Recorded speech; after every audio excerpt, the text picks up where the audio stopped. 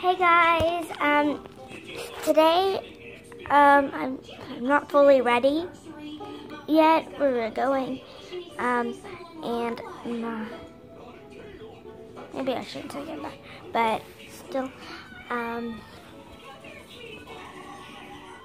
and just wanted to say that I'm gonna go riding around my sister. I don't know what for yet, but that's that. I just wanted to say that.